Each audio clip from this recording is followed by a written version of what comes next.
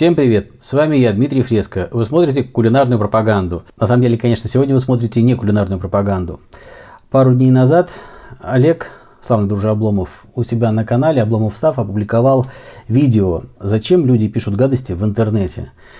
А, я с интересом посмотрел его и собрался уже было написать ответ, потому что Олег настойчиво и несколько раз а, просил пояснить ему, поведение этих самых героев его видеорассказа. А потом подумал, быстрее будет, если я на ролик наговорю этот ответ. И, Олег, если тебе это интересно, ты, думаю, здесь увидишь. Итак, а, твой вопрос. Зачем здоровому, взрослому, половозрелому мужику писать людям счастливым, у которых радость, они выиграли хороший, дорогой приз, что их приз не такой классный, как они думали на самом деле – вот если мне кто-то объяснит, я буду благодарен. Я тогда пойму стиль поведения, типаж вот этих людей. Выскажу свое мнение. Сразу говорюсь, я не психиатр, не психотерапевт и не психоаналитик.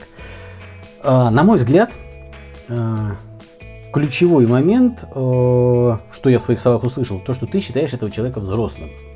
Хочу заметить, что биологический возраст человека не означает его психологическое взросление. Это не значит, что человек вырос, а остался дураком. Нет, он не дурак. А, но а, маленький ребенок не способен, пока со временем этому не научится, осознать, что его мысли, его желания, его суждения о каких-то вещах не являются истиной в последней инстанции. А, к примеру, ну, какому-то абстрактному маленькому ребенку безумно нравится мороженое, и он считает его чрезвычайно вкусным. Дайте ему попробовать, не знаю, там, черный хлебушек с горчицей, он скажет, горькая какая, гадость какая. Вот, или пиво, тоже горькое, фу, невкусно. И ребенок будет удивляться, что какой-то другой человек, скажем так, взрослый, любит пиво, но не любит мороженое он будет искренне считать, что что-то не в порядке с этим взрослым, потому что мороженое вкусное, а пиво невкусное. Так вот, а, человек среднестатистический со временем взрослея научается понимать, что его взгляд на мир, его взгляд на вещи, его суждение на вещи а, – это его взгляд на вещи, его суждения. А у других людей эти взгляды могут отличаться – но есть достаточно большая часть э, товарищей, которые вырастают, но так этого и не осознают. Поэтому они все воспринимают через призму своего мнения, своих желаний, своих впечатлений и не способны осознать и понять, э, физически не способны, что у других людей а, взгляд на вещи может отличаться. Не потому что те другие люди какие-то плохие или неумные, а потому что у тех людей свой опыт, свой образ жизни и своя шкала ценностей некоторых предметов. А, на примере а, предложи такому человеку, если он живет, допустим, не знаю, в городе посреди там а, пустыни, чувак, ты выиграл ценный приз, у тебя на выбор. Берешь либо крутую тачку какую-то, либо крутой катер с двигателем и так далее. Чувак скажет, о, конечно, я выбираю крутую тачку. А если он будет, если он услышит выбор другого человека в пользу катера, то он не примет э, во внимание то, что тот человек, выбравший катер, возможно, живет в Венеции, и ему машина просто не нужна. И в его шкале ценностей катер, я имею в виду того венецианца, Катер гораздо более ценная вещь, более полезная, чем машина. А, даже в случае, если машина теоретически будет там дороже, а, чем этот катер. Вот этот человек, твой герой, так сказать, а, твоего выпуска, он не способен это осознать. Опять же, не потому, что он там дурак, там, э, там, он может быть там хорошим математиком и так далее, но вот этой способности осознать и принять, что у других людей другая шкала ценностей, э, он не способен.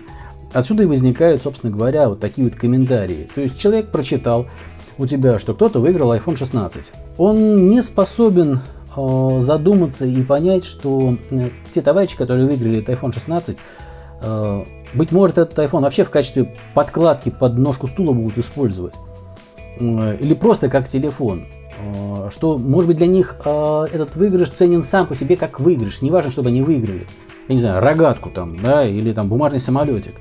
Э, он оценивает через призму своих впечатлений. И он думает, а вот если бы я выиграл, радовался бы я этому айфону или нет? Нет, 16 для меня мало, мне нужно там 64. И он, соответственно, это пишет. Ему в голову не приходит и не может прийти в силу вот этой самой неразвитости из ребенка во взрослого, в силу вот этого запоздалого ну, или запоздавшего развития, которое может вообще никогда не случиться, что выиграл-то не он, он это не способен осознать. Поэтому он и пишет такую ерунду. Исходя из этого, удивляться, на мой взгляд, таким товарищам, ну, это все равно, что удивляться поведению детей. Нужно просто э, делать такую скидочку. Прочитал такое мнение, видишь, что человек не в адеквате. Понятно, что нужно не глядеть на его фотокар... на фотокарточку, где, может быть, там 50-летний дяденька сидит, а понять, что, ну да, борода есть, а мозги остались на уровне пятилетнего ребенка. Может быть, замечательного ребенка, там, великолепного, но не способного а, понять такие вот вещи. Следующий типаж. Смотрим.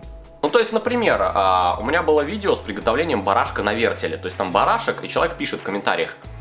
Друже, мне кажется, тебе продали вместо барашка собаку.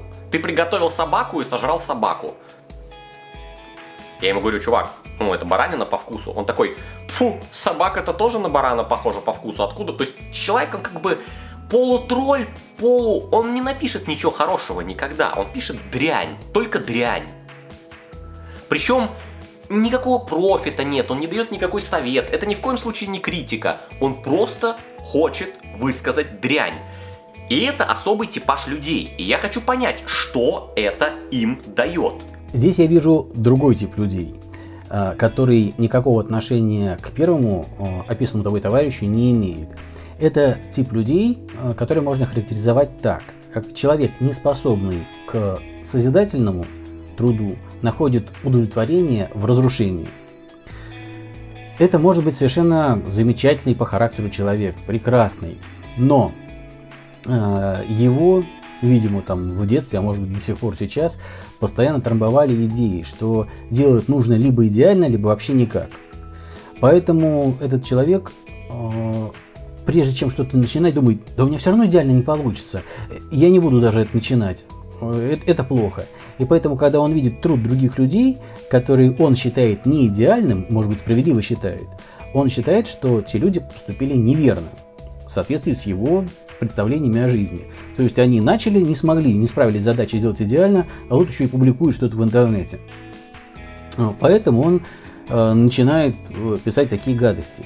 И я согласен с тем, что в интернете целая куча э, таких материалов, которые не стоило бы публиковать вообще. То есть я, например, Э, оставляю свое мнение при себе в таких случаях. Э, правда, не всегда. Если такой человек придет ко мне домой и начнет размахивать э, каким-то безобразно приготовленной едой или безобразно сделанными вещами, то я скажу, что, чувак, вот у меня дома этого не надо. Так же, как в моем комьюнити или у меня на канале, вот этого не надо. Но это мое комьюнити. Но приходите советовать кому-то там третьему лицу, чтобы он у четвертого товарища в комьюнити что-то выкладывал, я не буду, потому что это правило и взаимоотношения между выкладывающим и хозяином того места, где это дело выкладывается. Вот, поэтому э, лица, которые ходят и гадят, не осознают, что э, они э, выступают в роли адвокатов хозяина тех мест, где они выступают. А это проблема с границами. Они не осознают границ. Вот это непонимание границы вызывает такие комментарии. А вообще проблема с границами чрезвычайно актуальна для русскоязычного интернета, я так вижу. Потому что и ко мне на канал регулярно приходят а, товарищи прямо таки с требованиями «сделай то-то» или «не делай того-то». То есть э, люди живут в том времени, в котором уже забыли, что вообще-то за слова в реале, э, за некоторые, можно получить и в лоб. Вот. Ну, это беда современного интернета, и к этому я уже довольно давно привык. Завершающий твой вопрос. Если смотрим. мне кто-то объяснит, я буду очень благодарен. Так что это кухонный философ с простым вопросом вот к вам. Что это дает этим людям и почему они вообще никак не фильтруют свои слова? И надо ли фильтровать свои слова?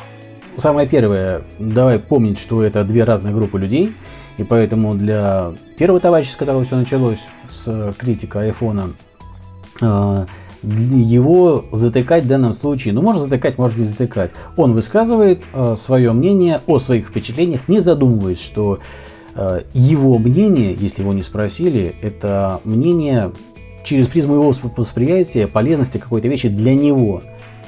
Э, поэтому можно просто смело забыть, на мой взгляд, и не обращать внимания на такого товарища, либо банить его, если неприятно это дело читать. Э, оба варианта, на мой взгляд, абсолютно равнозначны. Что касается второй группы людей, то тут все понятно. Они комментируют для того, чтобы почувствовать, что они тоже что-то значат в этом мире. А, раз они не способны сами полететь, то и другим летать не дадут. Они получают от этого моральное удовлетворение, пользы они и не собираются никакой приносить, они испытывают удовольствие от того, что тоже что-то значит в этом мире. И таким образом самоутверждаются. Тоже, на мой взгляд, вполне такое естественное поведение для такой группы товарищей. Вот так. Э, надеюсь, что свое мнение я смог донести.